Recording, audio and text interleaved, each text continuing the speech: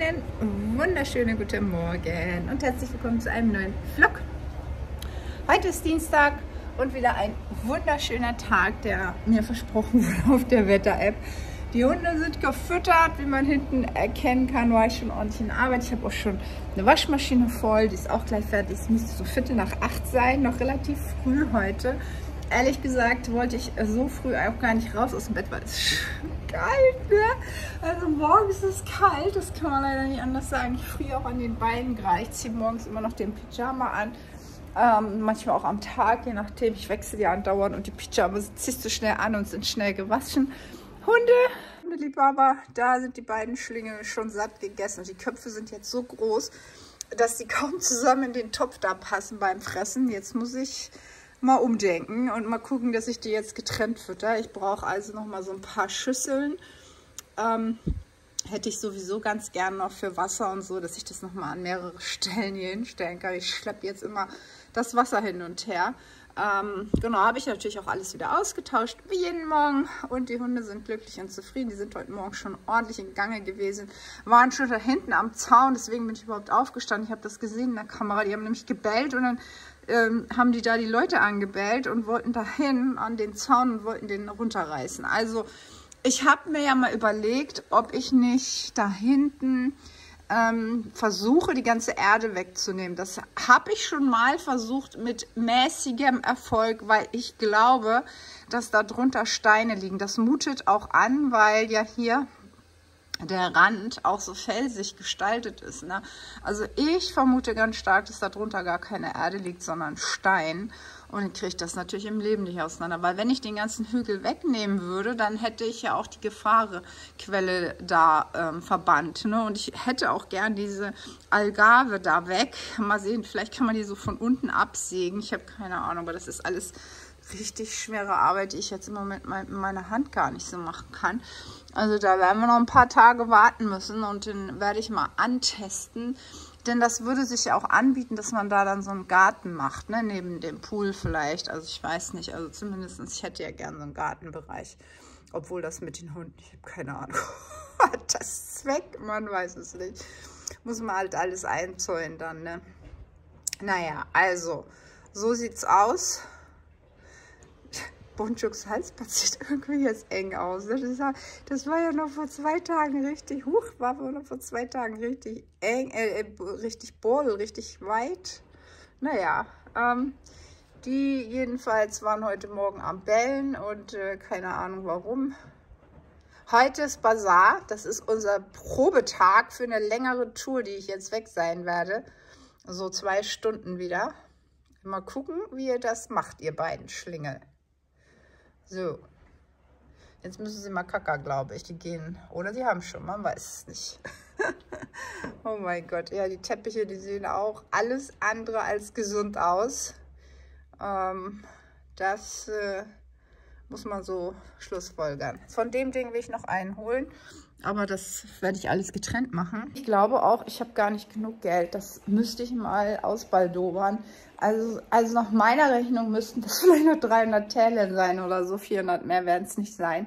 Reicht für den Bazar natürlich, aber ja.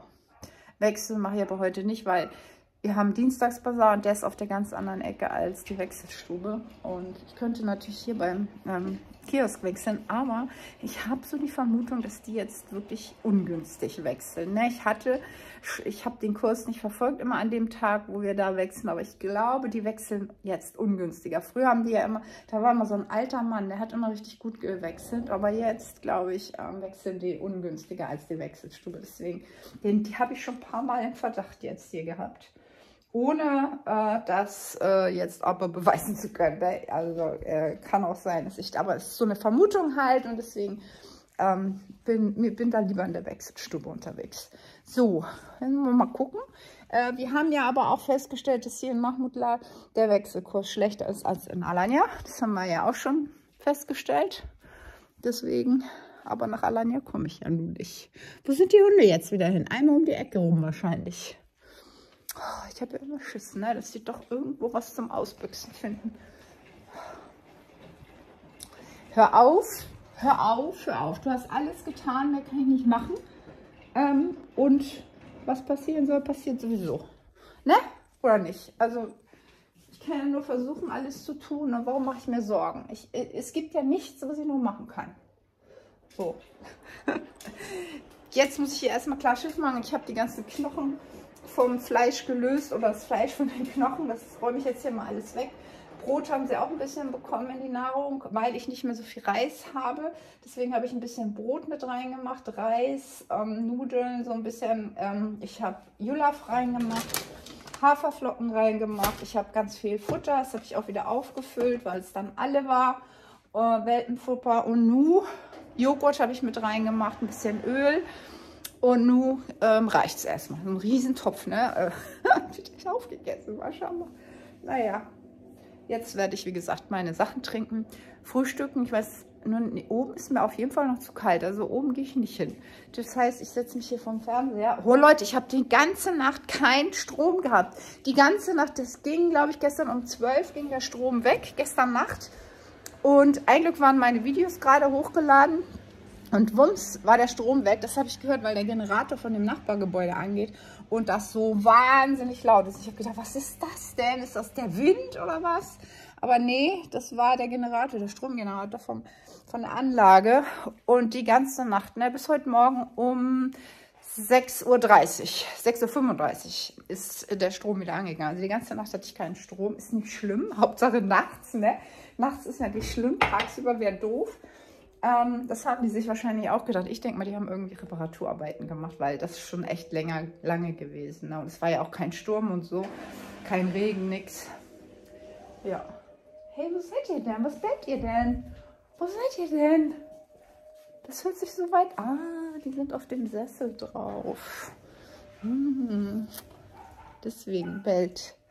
Sie will da auch rauf, sie kommt nicht rauf oder darf nicht rauf, wie auch immer. Deswegen gibt es da jetzt Streiterei auf dem Stuhl. oh.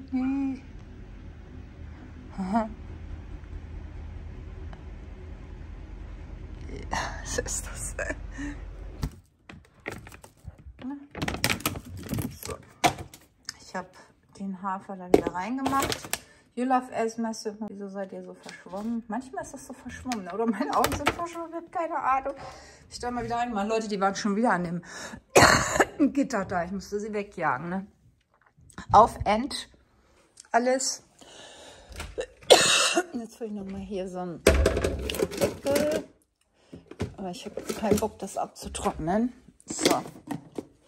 Aber der, da mal Kaffee drin. Egal. So, Hundesachen, das kann weg. Und als erstes werde ich jetzt Wäsche aufhängen, weil ich eigentlich auch noch ein paar Jäckchen wieder hineingeben würde, dass die auch noch mal waschen. Ist jetzt aber nicht so dringend. Kochwäsche wäre dringender. Ja, und ich brauche dann auch noch eine Wolldecke von oben. Was bummert denn hier rum, Leute? Da hinten sind die wieder in der Kampfbox. Okay. Genau, also ich habe jetzt nochmal alles hier gewaschen. Wieder alles, was ich so in den letzten Tagen angezogen habe. Mein Kissen habe ich auch gewaschen. Das hänge ich nämlich dann jetzt auf, damit das ähm, trocknet bis heute Abend. Das ist ja noch richtig früh und kalt oben. Das trocknet schon, inshallah. Habe ich noch nicht... Uh, wieso macht ihr denn Licht an? Sag mal. Ich habe aber abgewaschen und werde dann jetzt die Hunde kloppen sich da wieder. oh nee, ne?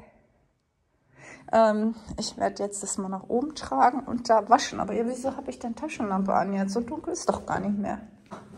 Muss ich mit dem Finger drauf gekommen sein. So.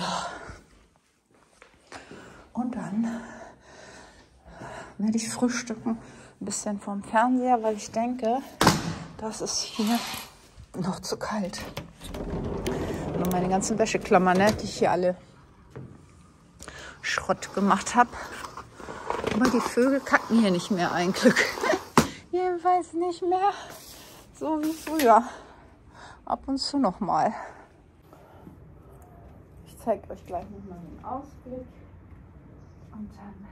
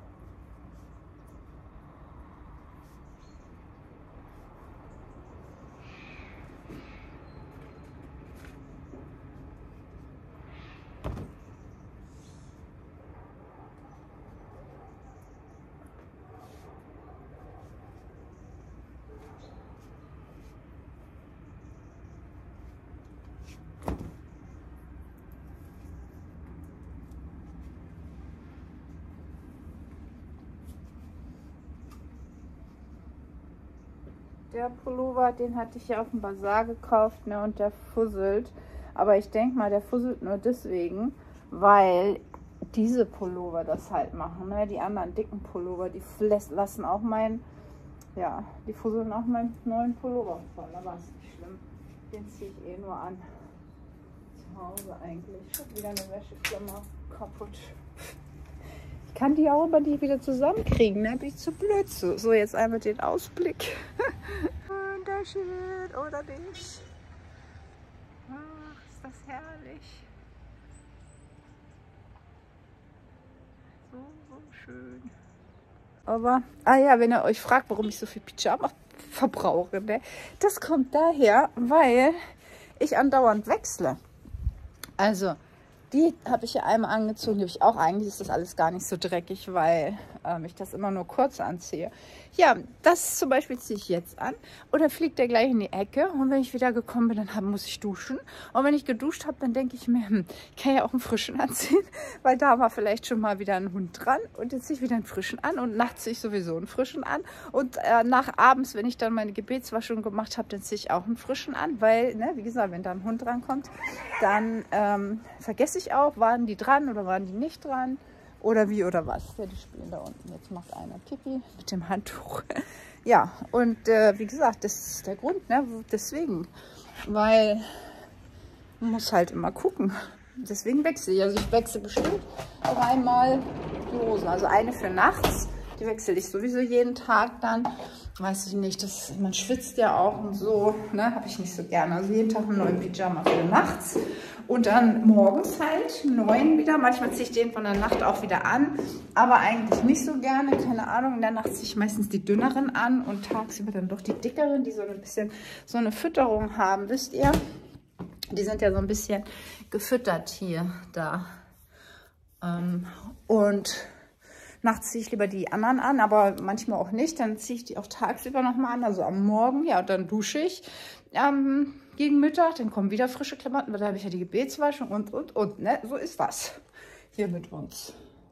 Und die Hunde spielen mit dem Handtuch und ähm, ich mache jetzt aber keine neue Wäsche rein, weil ich habe mir überlegt, wenn die Hunde jetzt gleich da fertig sind mit ihrem Spielen, dann sind die sicher so müde, dass ich dann schnell zum Bazar huschen könnte, weil die sind ja schon zwei Stunden hier aktiv. Ich glaube, so machen wir das und dann ähm, habe ich das auch schon mal hinter mir. Was weg ist, ist weg. Ihr kennt mich ja, jetzt muss ich aber frühstücken. Und meine Videos einstellen, die Vormittagsvideos. Das darf ich auf keinen Fall vergessen. Alle, die neu dazugekommen sind, herzlich willkommen auf meinem Kanal. Wissen vielleicht noch gar nicht, was ich hier immer für einen ekligen Kram mache morgens. Also es ist einmal so ein ne, Wasser, also da nehme ich ja dann immer dieses Wasser hier in der Türkei. Ähm, ansonsten würde ich stilles Wasser einfach nehmen. Ähm, wenn ich keins habe, nehme ich auch mal Sprudelwasser. Aber das geht ja gar nicht runter. Ne? Also, da habe ich dann jetzt auch schon Apfelessig drin. So einen guten Schluck. Ne? Ich würde mal sagen, zwei Esslöffel sind bestimmt drin.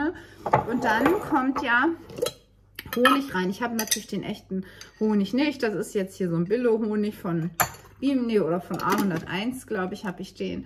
Aber unsere Propheten, Friede sein mit ihnen, haben ja gesagt, ähm, dass wir jeden Morgen ein Honigwasser auf nüchternen Magen trinken sollen.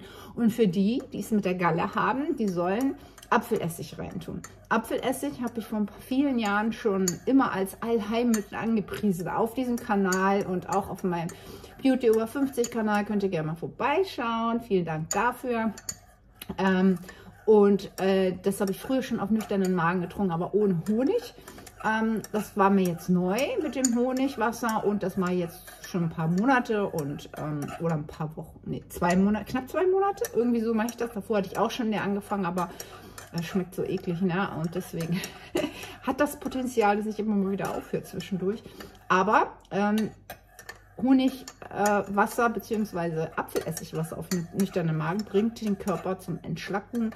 Es ist sehr gesund, beugt Krankheiten vor, desinfiziert und äh, bringt vor allen Dingen auch den Organismus in Wallung, sodass wir mehr Kalorien verbrauchen, damit dann auch schneller abnehmen für den Darm. Es ist sowieso gut, deswegen ähm, Apfelessig ist ein Wundermittel. Honig sowieso, wenn er echt wäre. Ne?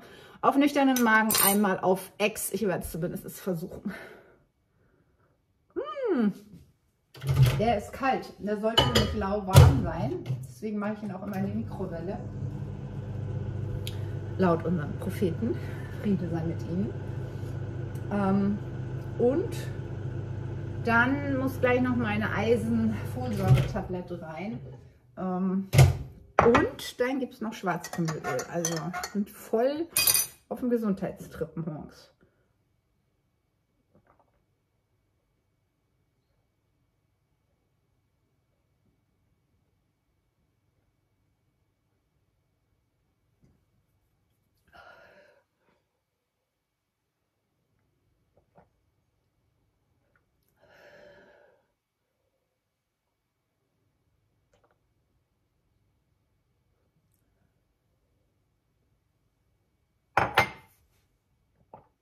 Das wollte ich auf Ex. Uah.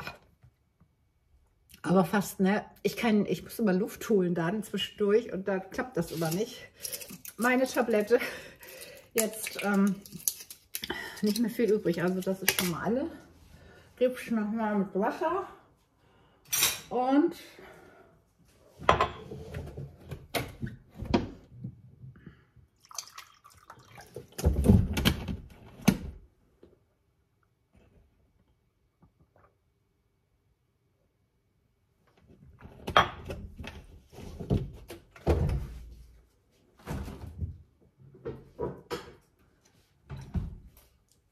wurde mir ja verschrieben, weil ich zu wenig Eisen und sowas Folsäure habe.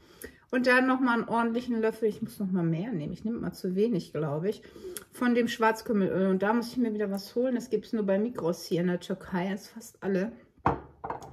Und dann nehme ich jetzt mal mehr als sonst, einen ganzen Esslöffel.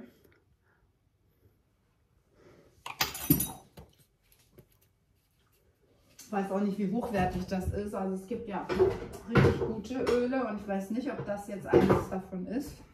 Keine Ahnung, das ist das Einzige, was ich hier gefunden habe. So, nun sind wir durch. Jetzt gibt es ungesunde Sachen. Kaffee. ähm, aber Wasser muss ich noch mal trinken. Hm. Ich nenne das Schwarzkümmelöl immer mit auf dem Honiglöffel. Da ist da noch so ein bisschen Honig drauf. Und dann ist es nicht ganz so bitter. Uah. Schmeckt nämlich nicht besonders gut. Naja, nun gibt es Kaffee und mein Brötchen und dann würde ich mal sagen, dass wir vielleicht losgehen. Ich weiß noch nicht. Also kann sein, dass ich auch sage, ich gehe erst heute Nachmittag. Sind die Hunde jetzt? Leute, schlafen jetzt, ne? Ja, seht ihr, das habe ich mir gedacht und ich bin ja noch nicht so weit. Ne, die schlafen nicht, die sind wieder auf dem Switch, ne? Aber wo sind sie hin? Ich weiß es nicht. Ah, die fressen die Palme. Da sind sie. Ne, dann sind die ja noch aktiv. Ich muss nämlich meine Videos noch einstellen und ich muss frühstücken. Also ich habe noch einiges zu tun. Mit schlechtem Gewissen und fast schon laufend runter zum Bazar. Oh mein Gott, dieser Hund. Hier ist nichts los. Alles ruhig im Starte. Mülleimer. Kein Huhn, keine Katze, nichts. Nur eine joggende Bossmama runter zum Wasser. Ja, man kann auch irgendwie einen kaufen. Das ist nicht. Aber warum soll ich mich zur Geisel der Hunde machen? Die sollen gefälligst da bleiben, wo sie sind. Ich will jetzt zu Bazar. Ja, ähm, ich habe mir überlegt, dass ich diese Ecke einfach ähm, versuche, mal in Angriff zu nehmen und das mal versuche abzutragen. Jeden Tag vielleicht ein Stück. vielleicht komme ich dann irgendwann zum Ende. Mal gucken. Also Jedenfalls kann ich jetzt nur hoffen und beten, dass die Hunde da nicht rangehen. So. Ähm, aber wird schon nichts passieren, inshallah.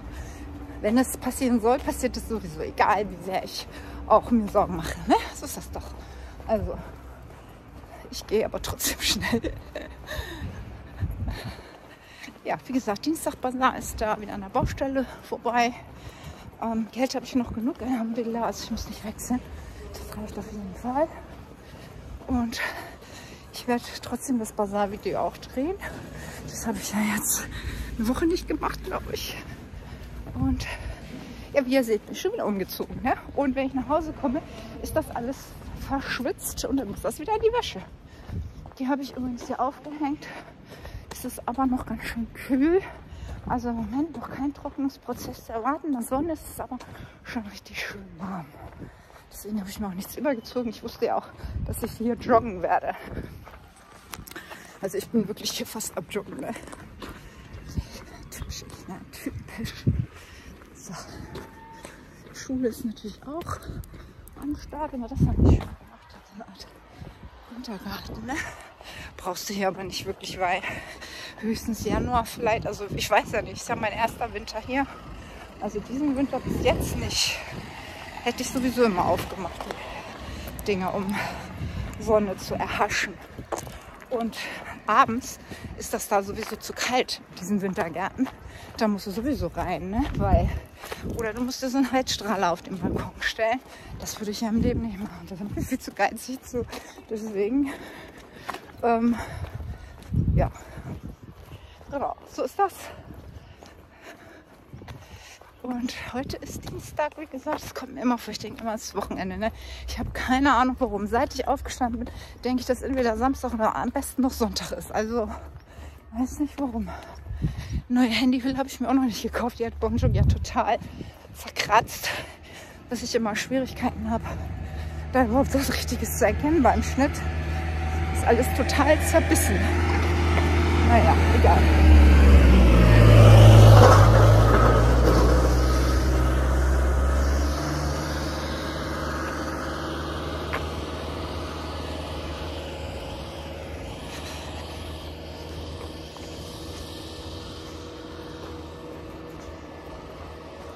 Ich kann mit den Kameras auch nicht so gut das Ganze sehen, weil irgendwie ist mein Internet nicht so gut.